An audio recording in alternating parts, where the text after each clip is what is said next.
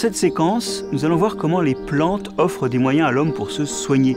Nous verrons d'abord les racines de la diversité chimique que l'on trouve dans les végétaux et qui permettent de trouver des molécules actives.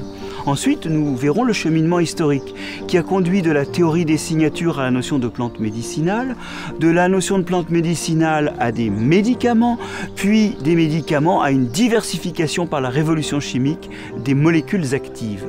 Et nous conclurons en nous représentant la place actuelle des plantes dans la médication et dans les soins de l'homme.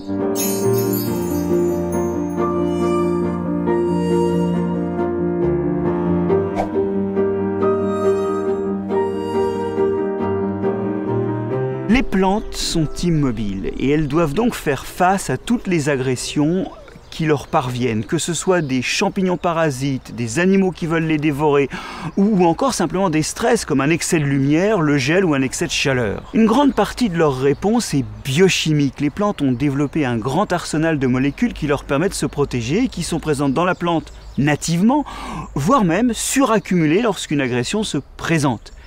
Ces molécules actives appartiennent par exemple aux tanins ou polyphénols. Elles appartiennent également aux alcaloïdes ou encore aux terpènes. Ces différentes euh, molécules permettent non seulement par leur toxicité de résister aux agressions des champignons et des animaux, mais également, pour ce qui est des tanins, leurs propriétés contre les radicaux libres en font de bons agents de protection contre les stress par la lumière, par la chaleur ou par le froid, car en cas de stress, il y a des radicaux libres qui sont produits et qui peuvent abîmer la cellule. Or les tanins les absorbent et les inertent. On sait très bien que la plupart des plantes sont toxiques et qu'il ne faut pas manger ou goûter une plante qu'on ne connaît pas. Mais ce qui est moins évident, c'est de comprendre comment la plante ne s'intoxique pas elle-même des molécules qu'elle fabrique et qui éloignent les pathogènes et les herbivores. Eh bien c'est simple, dans la cellule de la plante, il y a un grand compartiment qu'on appelle la vacuole et qui peut occuper jusqu'à 90% du volume cellulaire. Là, on peut stocker les toxines, alcaloïdes, terpènes, tanins, à l'abri du fonctionnement de la cellule qui s'opère par ailleurs sans dégâts. Outre les il y a un deuxième compartiment dans lequel les plantes peuvent stocker ces toxines. C'est la paroi. La paroi est un compartiment relativement inerte à l'extérieur de la cellule où peuvent s'accumuler des toxines, parfois sous pression. Et c'est ce qui explique le latex qui s'écoule quand on casse des plantes de la famille des astéracées, des euphorbiacées ou des papaveracées, qui, des latex qui sont souvent toxiques, souvent très amers, souvent irritants et qui contiennent des tanins ou des alcaloïdes ou des terpènes. Au total, la formidable biodiversité chimique accumulée dans les plantes offre autant d'outils à l'homme pour des usages, notamment des usages pour sa santé.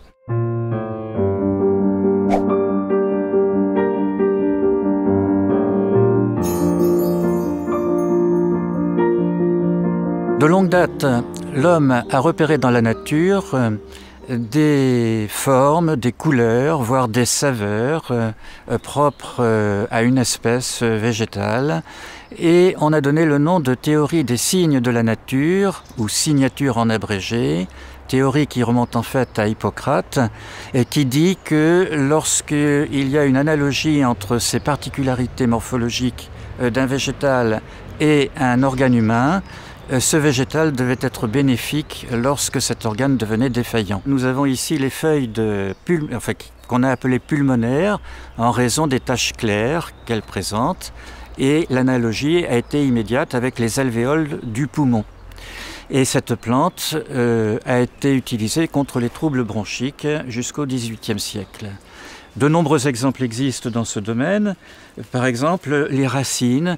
Et euh, on, a recherché les racines fourchues, comme par exemple celle de ginseng ou encore euh, celle de mandragore, euh, célèbre au Moyen Âge, par analogie avec la partie inférieure du corps humain. Ou encore un dernier exemple, eh bien ici on a le fruit qui est caché dans une enveloppe en forme de vessie et de ce fait la plante devait soulager les troubles de la vessie. On verra d'autres exemples avec la racine de ficaire qui est gonflée et allongée comme les hémorroïdes. Et cette plante est toujours utilisée pour soulager ce mal. L'homme euh, observe également les attitudes, les comportements des animaux. On peut citer au Gabon euh, ces buffles qui déterrent les racines d'un arbrisseau qui s'appelle l'iboga Et on a observé euh, qu'après cette euh, consommation, euh, ces buffles devenaient très agités et également très résistants à l'effort. Alors les populations locales ont imité ces animaux et effectivement les pêcheurs locaux consomment cette plante et peuvent pagayer pendant très longtemps. C'est sans doute aussi l'origine de, l'utilisation à une certaine époque des propriétés dopantes euh, de cette plante. Ces agitations se retrouvent dans les populations euh, qui utilisent cette plante à des fins divinatoires, euh, dans des cérémonies initiatiques.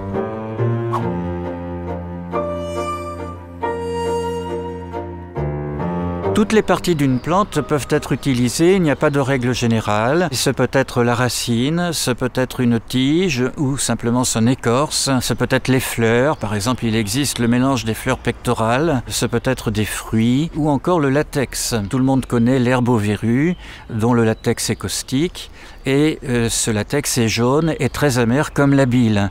Et on en revient à la théorie des signatures cette plante devait donc soulager les troubles hépatobiliaires. En fait, il ne vaut mieux pas l'absorber car elle, est toxique. Les plantes utilisées pour la santé sont appelées plantes médicinales et chez certaines d'entre elles, toutes les parties peuvent être utilisées. Dans d'autres plantes, en revanche, seules certaines parties présentent les molécules chimiques et donc les propriétés souhaitées. Et d'une partie à l'autre, les usages peuvent ne pas être les mêmes. Par exemple, dans le fragon ou petit hou, les jeunes pousses sont comestibles, comme des asperges. Les fruits rouges sont toxiques, tandis que les rhizomes contiennent les principes actifs qui en font une plante médicinale. Alors initialement, l'homme a utilisé la plante entière, soit sous forme de fragments, euh, c'est ce qu'on consomme toujours sous forme de tisane, tisane de menthe, de verveine, etc. Et quelquefois, il y a des mélanges composés. Alors ces mélanges composés répondent à certaines règles. Pas plus de 5 plantes présentant les mêmes propriétés. Et on peut rajouter 3 plantes pour améliorer la saveur et 2 plantes pour améliorer la physionomie, la couleur. Il y a des mélanges euh, donc d'une dizaine d'espèces au total contre la constipation, pour améliorer la digestion, pour améliorer le sommeil, etc.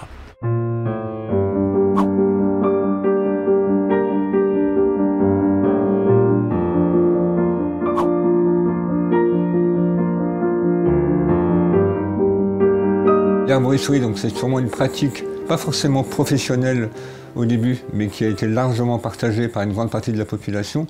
Et au fur et à mesure de l'urbanisation, ou euh, quand les gens se sont voilà, constitués en ville, c'est un métier qui est devenu une spécialité, une spécialisation. On en trouve trace en Mésopotamie, où il y avait des gens. Alors souvent, les métiers sont confondus. L'arboristerie de l'Antiquité, l'arboriste, c'est en même temps le médecin, c'est celui qui va donc diagnostiquer les maladies, souvent d'ailleurs d'origine euh, divine ou magique. C'est celui qui va les prescrire, mais c'est souvent celui qui les cueille. Et ça, ça perdure assez longtemps. Encore euh, au Moyen Âge, les rôles sont, en France, puisque là on va parler un peu de l'arboristerie en France, sont souvent assez flous. Et, c'est à partir du XIIIe, XIVe siècle où euh, dans les villes, en tout cas, pas la campagne, hein, mais dans les villes, euh, on va essayer d'organiser les professions et on va avoir émergé des professions différentes. Le mot herboriste, il est assez tardif finalement, euh, il date à peu près de la Renaissance, mais il y avait un mot assez proche au Moyen Âge qui était employé, c'est herbier ou herbé. On trouve ça dans les vieux textes. Et donc il y a des corporations d'herbiers, donc les ancêtres des herboristes, dès le Moyen Âge en France. Et à côté de ça, il y a d'autres professions qui sont concernées par les plantes médicinales. Ça va être les physiciens. À l'époque, c'était les médecins d'aujourd'hui. On appelait ça des physiciens. Et les apothicaires, qui sont les ancêtres des pharmaciens. À partir du, du 15e, 16e, siècle, on les appelle herboristes. La, première définition du mot herboriste, euh, c'est dans, officielle, écrite, on la trouve dans la première euh, édition du euh, dictionnaire de l'Académie française, au XVIIe. On dit c'est celui qui connaît les simples. Alors les simples, euh, c'est ça en fait. Les simples, c'est-à-dire c'est les plantes médicinales en l'état, non transformées, euh, d'origine locale, et, ça fait euh, opposition à, ce qui était utilisé par les concurrents des herboristes, c'était les apothicaires ou les épiciers, épiciers apothicaires, on les appelait comme ça au Moyen Âge, qui eux travaillaient plutôt avec des produits exotiques, coûteux.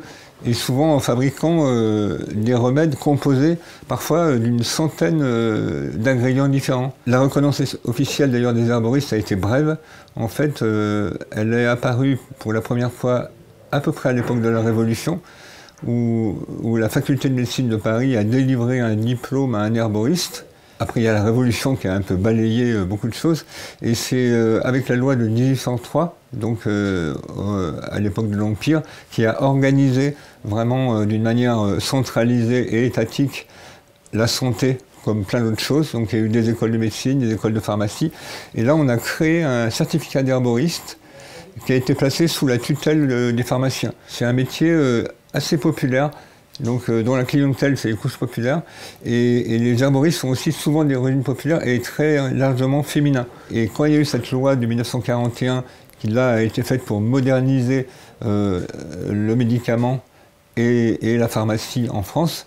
Euh, en fait, là, on a décidé, l'État français, c'était pas un gouvernement euh, démocratique, hein, c'était ce qu'on appelait l'État français, donc le régime de Vichy, a décidé de supprimer l'enseignement des herboristes. Années 80, eh ben, il y a pas mal de gens dans la société civile qui se sont émus de la disparition des herboristes et il y a eu un véritable retour et, et renouveau.